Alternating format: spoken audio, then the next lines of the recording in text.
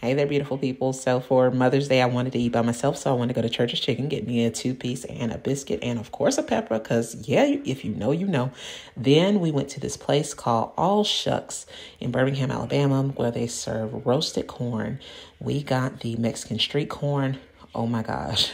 Let me tell you, that stuff is absolutely delicious. Like you, you just have to try it. Um, we did some shopping at Target, and then we went to Kobe for dinner after that. Um, I love, love, love, love Japanese steakhouses. I love the soup.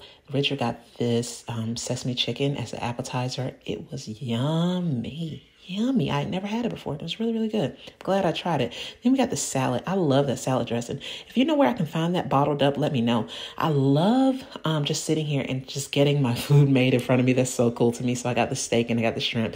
Um, our chef was really, really cool. Of course, I had to try Richard's chicken because